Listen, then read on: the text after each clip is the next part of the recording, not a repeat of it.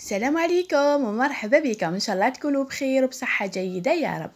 نرحب بكم كامل في قناة يومية الفراشة البليديه اليوم جبت لكم حلوى اقتصادية جافة وسهلة التحضير وبمكونات موجودة في كل بيت. اللي تحب حلوة ليكالات ما عليها إلا تتبع الفيديو للاخير الوصفة هذه وصفة المحلات اقتصادية وتقدروا ديروها كمشروع منزلي تسترزقوا به. راهي بزاف بزاف بنينة. أنا ولادي طاروا بها وهي سخونة. نبداو على بركة الله. بسم الله. المقادير لهذه الحلوى واش نحتاجو؟ عندي كاس ونصف زيت ثلاث حبات بيض كيس خميرة الحلوى لافاني كمية مليحة آه قرصة تاع ملح زوج كيسان ماشي معمرين مليح سكر رطب واللي تحب الحلاوة ديرهم معمرين مليح. وعندي الفارينة على حسب الحاجة. نبداو. نكسروا في إناء ثلاث حبات تاع البيض ودائما البيض يكون بدرجة حرارة المطبخ. يعني ما يكونش داخل للثلاجه نزيد الزيت كما راكم تشوفوا هذه الوصفة ما فيهاش الزبدة راهي اقتصادية وصفه المحلات. وراهي بزاف بزاف بنينة وإن شاء الله تجربوها كالعادة وترجعوا تخلوا لي في التعليقات وتقولوا لي نجحنا وخرجت لنا ما شاء الله. لأن الحلوة تاعنا تحتاج إلى كمية مليحة تاع لافاني تاع الميزان أحسن خير من هذاك تاع العلبة. وديروا حوالي ملعقة كبيرة معمرة مليح تاع لافاني باه تخرج لكم هذاك داك المذاق وهذيك الريحة تاع المحلات. نزيدوا زوج زوج كيسان سكر رطب وقرصة تاع الملح وضروري نخلطو بال batteur. البنات اللي ما عندهاش ال batteur معليش تستعمل ال fouet بصح أه تخلط يا ربي واحد العشر دقائق بيديها. ال batteur لازم تخلطو مليح حتى هذاك الخليط يرجع كيشغل كريمي. هذا هو السر تاع حلويات تاع المحلات دائما يخلطوا الحلوه تاعهم يعني العجين تاعهم كامل يمدوا وقت العجين. باه الهواء يدخل في هذاك الخليط وتجي الحلوه خفيفة وبنينة. لهنا نزيد الفارينة. راح نعبر معاكم.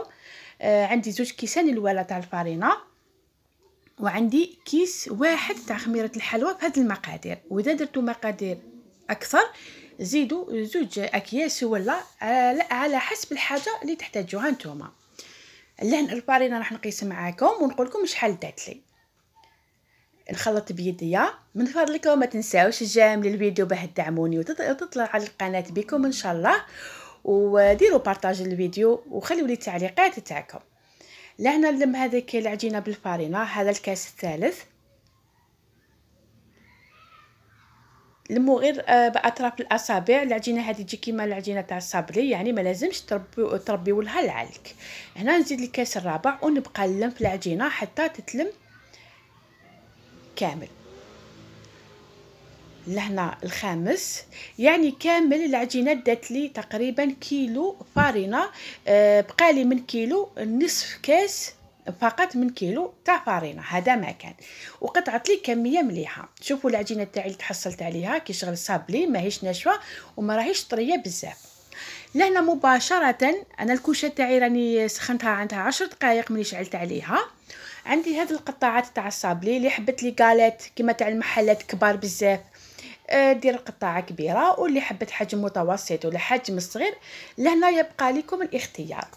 العجينة تاعنا نقطعها نحاولوا نلموها كويرة بصح البنات ما تدلكوش العجينة تاعكم. jamais تدلكو العجينة تاع الحلويات. يعني كاين بزاف يبقاو يلعبوا فيها حتى وين تربي العلك.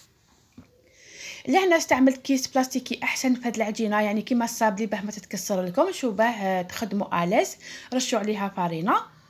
السمك تاع العجينه ما لازمش يكون خشين بزاف وما لازمش يكون رقيق بزاف. أنايا درت نحب لي كالات رقاق ويجو مقرمشين.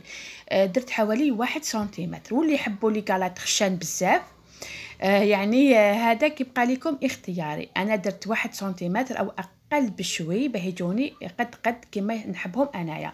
على خاطر لي كالات معروفين برا كاين اللي يبيعوهم رقاق وكاين اللي يبيعوهم خشان بزاف. والله ما يتكلوا يعني صراحة أنا من داك نشريهم ولا يجيبوهم لي والله ما يعجبوني ما يعجبونيش خلاص. يعني تجي فيهم ريحة الزيت ولا ولا يجوا خشان بالبزاف. كما راكم تشوفوا السمك حوالي واحد سنتيمتر. هكا يجوني ما شاء الله. هاي ليكم.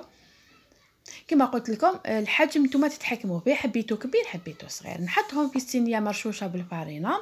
ودائما الكوشة تاعي راهي مشعولة مقبل باش الفوغ تاعي يكون سخون. هذه هي. لهنا عندي صفار بيضاء وعندي كاكاو. آه أنا يا درت آه، صراحة زوج صفار البيض على خاطر درت صفار بيضاء ما كفانيش وزدت واحد آخر. اللي ما عندها صفار بيض تقدر ديروا آه، الحليب مع القهوة ولا الحليب مع الكاكاو. حتى إذا ما عندكمش تقدروا ديروا حليب لحظه مع قهوة وتخلطوا كما راكم تشوفوا نخلط مليح داك الكاكاو ما تكثروش بزاف بصح باش يعطينا هذاك اللون البني اللي يجي فوق الكالات والكروكي وكامل. ندهن الحلوة تاعي كامل. نحاول كيفاه ندير كمية مليحة تاع هذا الخليط. هكذا باه يجيلي تجيني الحلوة تاعي يبان فيها هذا اللون تاع الكاكاو. الحلوه هذه كي طيبتها طاروا بها صراحة. وإن شاء الله يا ربي كيما العادة تجربوها وتخلوا لي في التعليقات. عليكم. ثم نجيب الفرشيطة على ظهر الفرشيطة ندير خطوط. ثم نعكس الخطوط. هذه هي طريقة تزيين ليكالات ندخلها للكوشه يا ربي واحد العشرين دقيقة. أنا نحبهم محمرين مليح. واللي حبتها دوغي ولا شوية كل وحده كيف تحب الحلوة تاعها طيبه مليح ولا لا لا نحبهم محمرين مليح مليح بيجوني مقرمشين. ندخلهم الكوشة كي يطيبوا نحيها الحلوة تاعنا راهي واجدة. كما راكو تشوفوا لهنايا هذا هو الشكل النهائي تاعها. يعني جات ما شاء الله بنينة بالبزاف. إن شاء الله يا ربي تجربوها وترجعوا تخلوا لي في التعليقات. ما تنساوش ديروا لي جيم على الفيديو. خلوا لي التعليقات تاعكم من فضلكم. وإلى الملتقى إن شاء الله. سلام. نحبكم كامل.